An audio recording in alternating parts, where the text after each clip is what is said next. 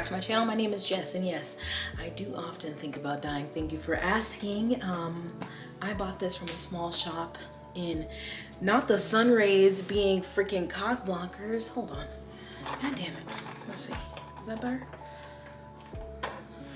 It's not better. It's not better.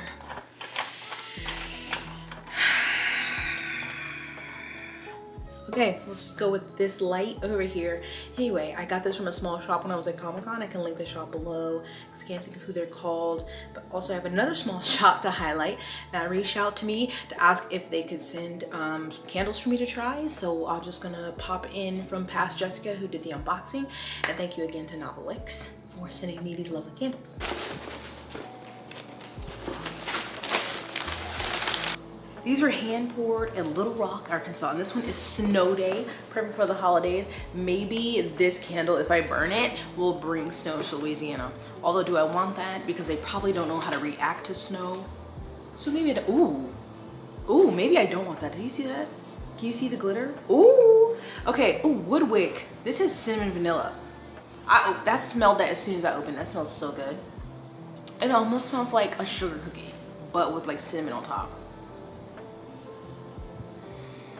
I'm just, okay, one more. Oh my God, that smells so good. I hope y'all can see the sparkle. It doesn't need to, for some, okay, now I have, it's that song by Hoku for Snow Day, the movie.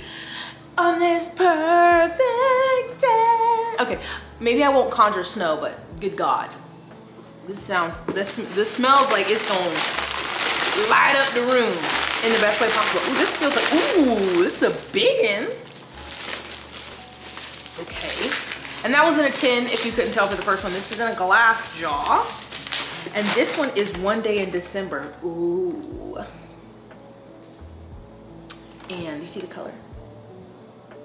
Ooh, that looks so nice with the tree. More sparkle. Oh my God. Oh my God, these are powerful nutmeg and spice. Oh my God. That is Christmas in a candle. Jesus, this is this is beautiful. This is perfect. I just want you to look at it with the tree. Look at it with the tree. Look, don't look at me. Don't look at me. Oh, come say hi. You want to smell the candle? Okay. Say hi. It's me again in my donut. You say hi. Okay, let's see. We're gonna smell Snow Day. Let's let the baby smell it. Can you see him? He said this smells fucking amazing. I don't know which one is our favorite. Okay, let's smell one day in December. Here, smell it. Here, here, here. Oh, Nene! Here. I, I know. Which one is our favorite?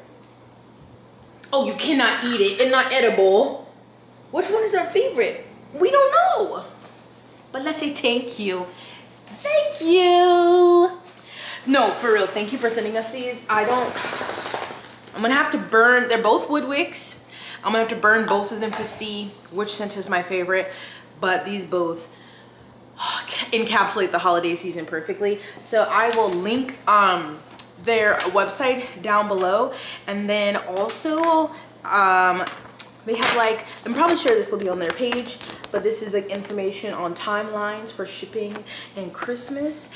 And anyway, thank you to Novel Wicks. You should check them out. Check out their candles. They obviously have holiday ones, but also candles related to bookish, bookish fandoms um, that we all know and love. So thank you again for sending these to me. Check them out.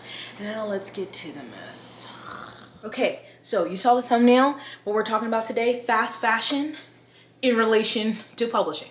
Now, the article that I'm referencing, I saw mention, um, I don't know if I saw it on TikTok first or if I saw it on Google, either way, it is written in Bloomberg by Jessica Karl, and it says TikTok is turning the publishing world into fast fashion. So, I just want you to pause there and think about what you think she means and tell me what you think she means in the comments below before we continue.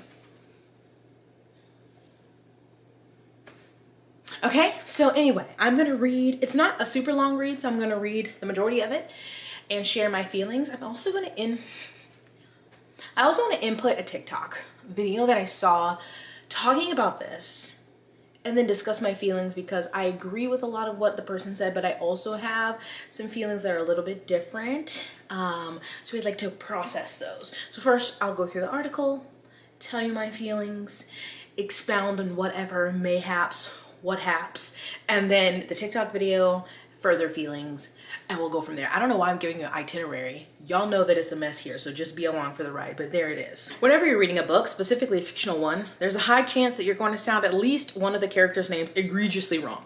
But if it's inside your mind and your mind only, is it really a bad thing? Perhaps not. What if you're reading a New York Times bestseller and you don't know how to pronounce the words in your own book? Rebecca Yarros, author of the Dragonfield Fantasy Fourth Wing, found herself in such a situation during a recent interview at New York Comic Con. She mispronounced several of the Scottish Gaelic words from the novel. But the blunder or the viral TikTok a native speaker made to express frustration with how the language was carelessly deployed hasn't slowed down her success.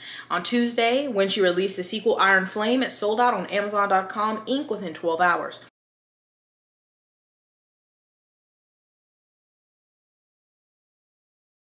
And that's a more Gaelic spelling, so or a more pronunciation. So that can be it can be right. I say Biscayeth.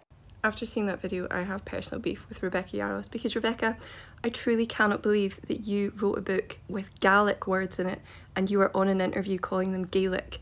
Gaelic is a different language. You did not use Gaelic in your book, you used Gaelic, babes. She goes on to wildly mispronounce all of the Gaelic words that she used.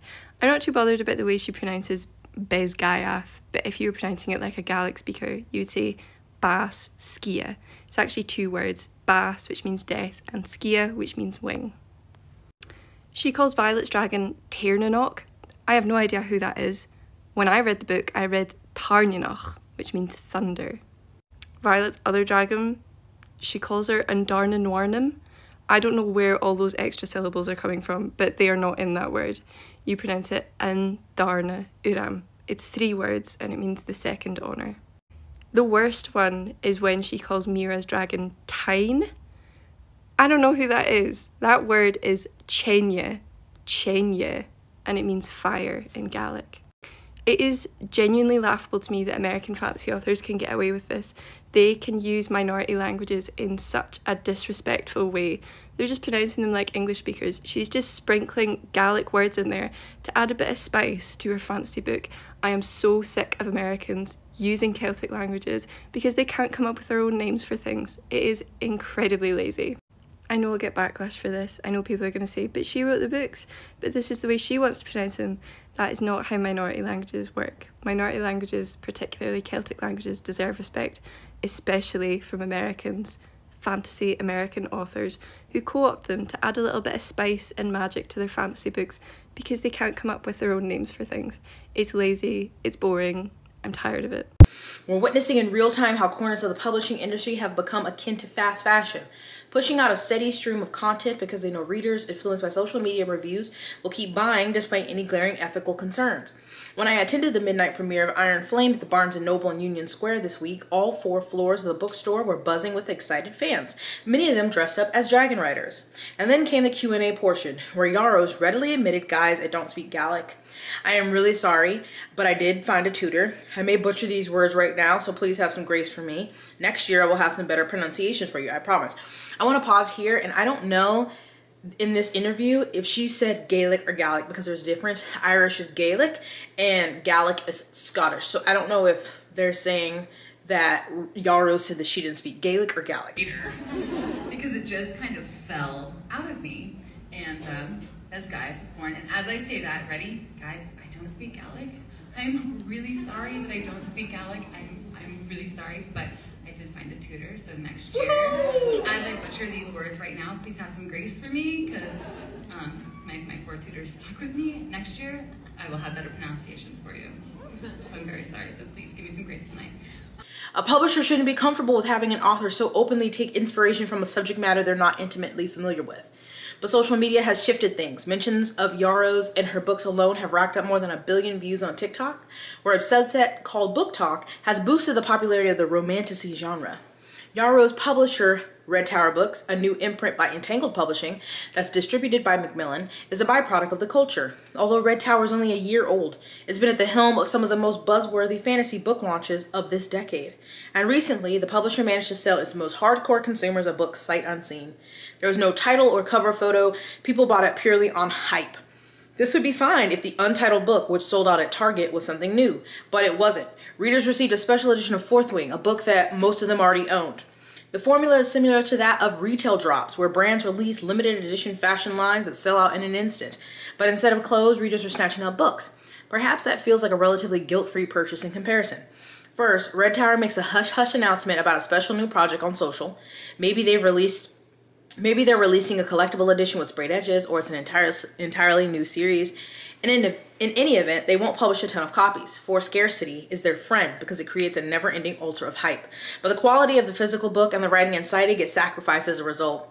One of the first lessons of Gaelic is that the adjective comes after the noun, not before, as explained in TikToks prior to the Comic-Con gaffe about Yarros' misuse of the language in the book. So I do not know how to speak Scottish Gaelic, and the article has an example, and I know I'm just going to butcher it, but it's basically her using the words all wrong and flipping them around wrong. So basically like, you know, in Spanish, how the how the adjective comes after. So we would say a red car, but in Spanish it's car red. It's kind of similar to that. I don't want to say it's exactly that. I'm not a linguist. I do not know this language, but that is what that part is saying, but I just don't want to further butcher the words. Um, so it's, but it, they did say, um, imagine if someone were to similarly haphazard approach or have a similarly haphazard approach to a more well-known language like Spanish or Italian, readers would be up in arms and rightfully so. Scottish Gaelic is one of many minor minoritized languages that fantasy authors, a lot of them white Americans, routinely draw inspiration from. For example, Sarah J. Maas, most known for A Court of Thorns and Roses, has been criticized for relying on the trope. When done properly, referencing historical events can be educational for readers. Yarros and her publisher should have employed a Gaelic scholar to review her book before publishing. And the Fourth Wing audiobook and Iron Flame, should, which is currently rife with mispronunciation, should be orated by a native Gaelic speaker, or at least someone who has taken time to learn it properly. The index could even include a pronunciation guide so that the readers could get familiar with the language and its history. These suggestions should be taken into consideration for future books in the series, as well as its TV adaptation. Just last week, the rights for all five books, three three of which don't exist yet, were secured by Amazon MGM Studios and Michael B. Jordan's Outlier Society. It would be true disservice if Scottish Gaelic terms ended up being mispronounced on screen too. Fiction novels may be an escape for some, but they are often rooted in somebody else's culture or origin story. When publishers and authors fail to handle those stories with care, it's more than disheartening. It's a reality check for Fantasyland. So, um, I wanted to go back up to, while I remembered it, is, oh, them saying the index could have included a pronunciation guide so that readers could get familiar with the language and its history. Can we get it for all fantasy books? Because you know, people just be making up stuff. And I'm like, okay, I'm gonna say it like this. And then years later, Sarah Janet, you're gonna say it's pronounced Aelin Ash River Galathinius. I'm like, girl, I ain't been saying it like that. Like, you know what I'm saying? If you if you have a fantasy book, one, and you're taking it from another language, yes, you should be making sure that it's correct and um, talking to people who are who speak that language as their native tongue and, you know, getting feedback. I don't know, it seems like things that should happen in the publishing process. And put in a goddamn pronunciation guide. I don't know why that's so hard. This is off topic, but it's just like in sequels, can I get a, in the last episode of, or in the previous book, can I just get a little synopsis in the front? Can I just get a little synopsis in the front of the book? But anyway, that's not the point. So, I saw this and I don't know what I thought she would be referencing in, in, in um, talk about fast fashion, but I I think it's an interesting take to compare, especially with Red Tower books, what they're pumping out, but it's not just them. I think this could also be, go back and be connected to my video, uh, the two videos that I made about beautiful gowns and about publishing lately of beautiful books, but the quality inside being less than, um, often being very subpar we know from, or at least if you've been here on this channel or following anything in publishing, how understaffed and underpaid it is in publishing. So I know that the people who are in charge of developing these books, editing these books, have a lot on their plate. And again, that problem is not theirs alone. or if I don't want to say it's their like this is their fault. It's really the fault of the top for hoarding all the money and not wanting to pay people livable wages so that they can have enough people to equitably dis- distribute these books to give them time and development so that they're actually quality books with also a beautiful exterior. And so same here with the thing with Red Tower books and I am not I am never here to lie to you. I too bought into the hype of the untitled Red Tower book because what we saw happen with the first is down here uh Fourth Wing book which I did read and I really did like. Actually I loved Fourth Wing. I'm gonna go ahead and tell you idea after Iron Flame. But I did love Fourth Wing. Um and I just bought it, the regular edition, it came with the um the edges were like this and then it sold out and then everyone was scrambling to pay all kinds of ungodly money for those. And so yes i am not immune. I am not immune to these things that i talk about on my channel. I want that always to be apparent that i'm not coming here to preach down to you. These are issues and they are reminders also for me So yes, bought into that hype and then it was just, yeah, a holiday edition of Fourth Wing. And both the holiday edition of Fourth Wing and Iron Flame releases, because uh, I got Iron Flame from Barnes & Noble, um, they all were just black sprayed edges, but they were done terribly. Like the the spray the paint or whatever the color that was on the edges bled up onto the pages. Some of the printing wasn't good. They were damaged. Like it was a terrible job physically, which usually these books are at least physically beautiful and look great. But even they rushed to get these books out so quickly that physically they look like trash. Um, there's nothing special about this holiday edition besides the color uh, kind of matching more to Iron Flame. Um, like the sprayed the uh, designs on the edges are nothing to write home about. And then the quality of the book. Now I said I loved Fourth Wing, but I never said it is the best book of all time, the most well written book. And who knows, if I went back and reread it now, maybe I think it was terrible. But when the time I read it is what I needed and I loved it and I really enjoyed it. But I never said, oh, this mm, this is Pulitzer worthy. This is the, will be in line for the next Booker. No. However, comma, I realize that, not I realize, I just find it interesting. So that came out in what, May? May of this year, April or May of 2023, and the sequel came out in November, which of course, if you read Fourth Wing and really enjoyed it, and you saw, you know, how it ends, you were excited, you didn't have to wait that long for the sequel. But we should have waited longer for the sequel, because that is terrible I mean, if you liked the first one, the second one is worse. I mean, if you hated if you hated the first one, the second one is worse. It just uh it now it makes more sense if it was just a romance story because romance authors write their stories a lot quicker, but they don't have to take time to worry about world building and language and all of these different things and maps and and serious plots like that. Not saying not taking away from uh romance writers craft, I'm just saying that the fantasy aspect adds more time into writing books than just writing the romance between two characters, two or more characters. So had Miss Rebecca, this is not about Iron Flame, but anyway, that book should not have come out in November. Obviously, the distributor was not ready. Whoever was Red Tower, they were not ready. This was a clusterfuck. It was a disaster. Um, but also talking about that in the article um, with fast fashion because I don't, I feel like I'm trying to think of my words because when I think fast fashion, there are many things, but my, my number one comes Shein, but also there's like Temu and uh, you. Some people would consider H&M and Zara and stuff like that fast fashion as well. And it's, in my mind, I think of fast fashion as something you consume a lot of, like you buy a lot of, and you don't intend to keep to keep it for such a long time. And so not to say, that is not to like scapegoat Red Tower or Entangled Publishing, whoever you want to blame, for this hype of the book because, like they said in the article, people probably feel less bad about buying a book you know nothing about because it is a book, something you intend to keep for a long time. But I'm just saying those were my thoughts on what, when I think of fast fashion, that's what I think about. All these things like people and influencers doing these massive hauls of all these clothes of things they may, they may wear once and then get rid of. And I guess truthfully with a book you might read it once and then get rid of it or try to sell it but i i understand the, the comparison with the you know, just drumming up a lot of hype, trying to make a product cheap as possible, even though books are not cheap. Uh, so I don't know where that's coming from. But drumming up a lot of hype so that you can sell a whole lot, but there is no, there's no really care there for the quality.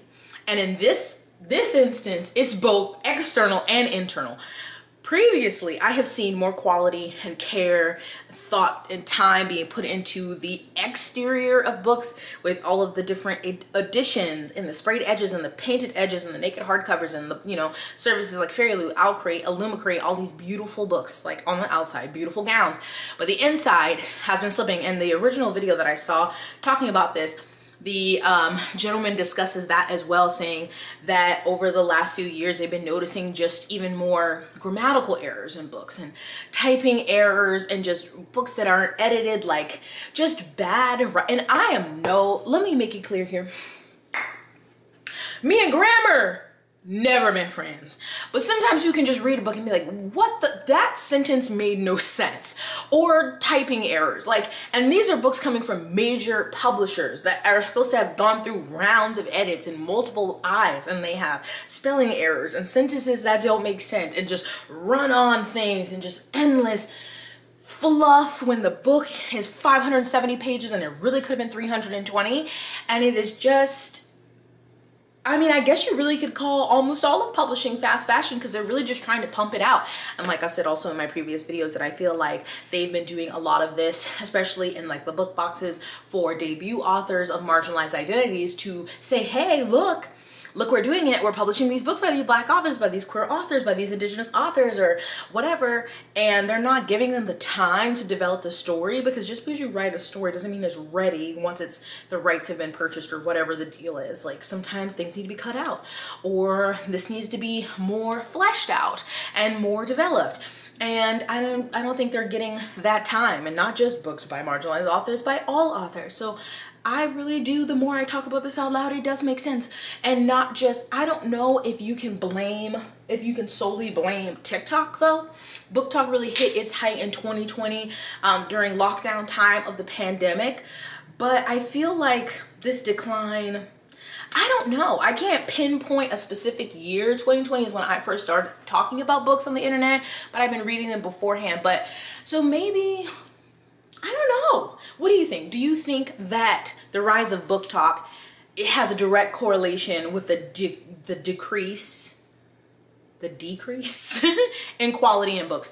I would love, I don't know how you would measure that, but mayhaps, maybe it does. Like I'm trying to think and I'm like, well, 2020, that's almost four years ago now. This we're at the end of 2023, so maybe. Um, I saw someone else say it's the Colleen Hoover effect of books. And I have said it here before too. I've discussed Colleen Hoover, have videos on her. I have read some of her books and love them and some other ones not so much. Um, but I understand why she's so popular because they're just very compulsively readable. They're very dramatic. Um, some people may say they're emotionally manipulative, manipulative, but again, I understand and maybe I've been manipulated. I don't know, but I loved what I read, a couple of them.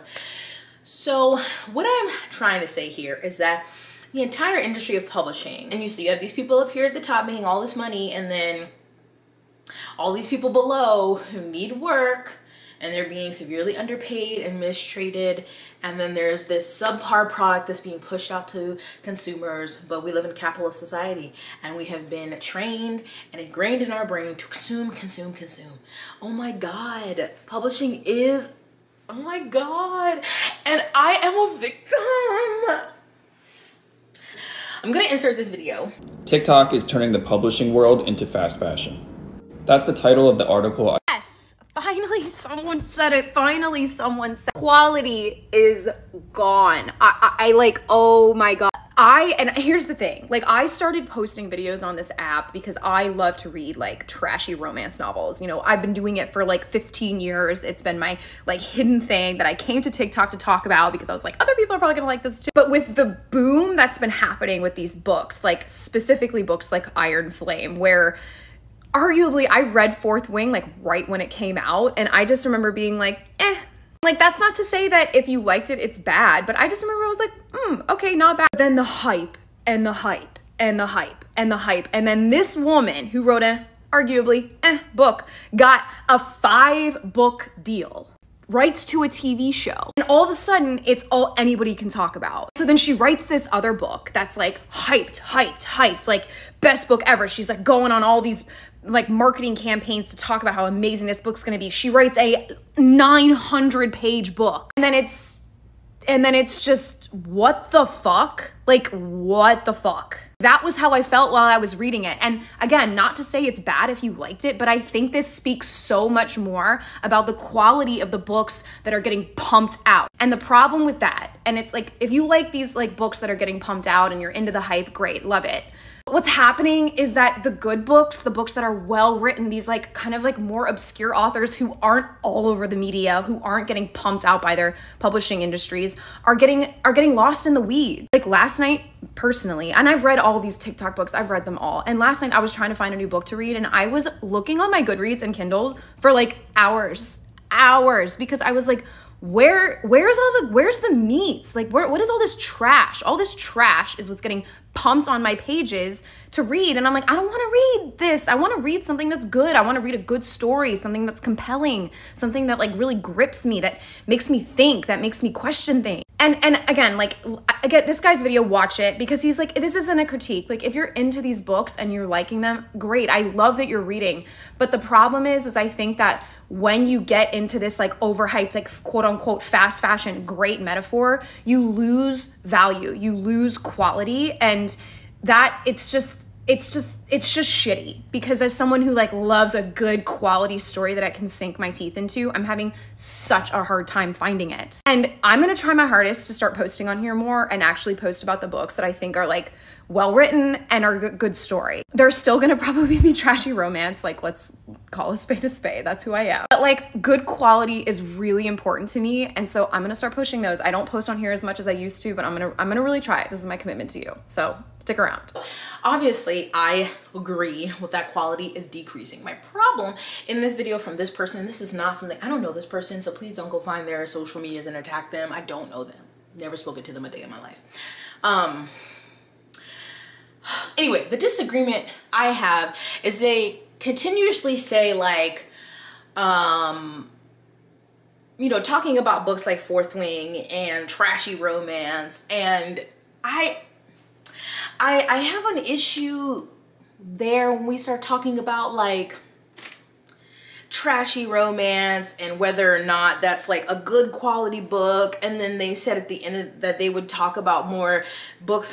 Here that are well written but they'll still be trashy romance. I'm like what are you what are your defi- your your terms your definitions are confusing me because i don't understand. And i don't like that. Like I just feel like we can enjoy things. Maybe it's more campy, maybe it's more out there than a traditional contemporary romance, but the I don't know the, I just get, I feel icky when people use trashy romance. And then here again is the problem that with social media being the thing that sells books, and another problem I have with the concept of bindery that I've spoken about in another video is that reading is what?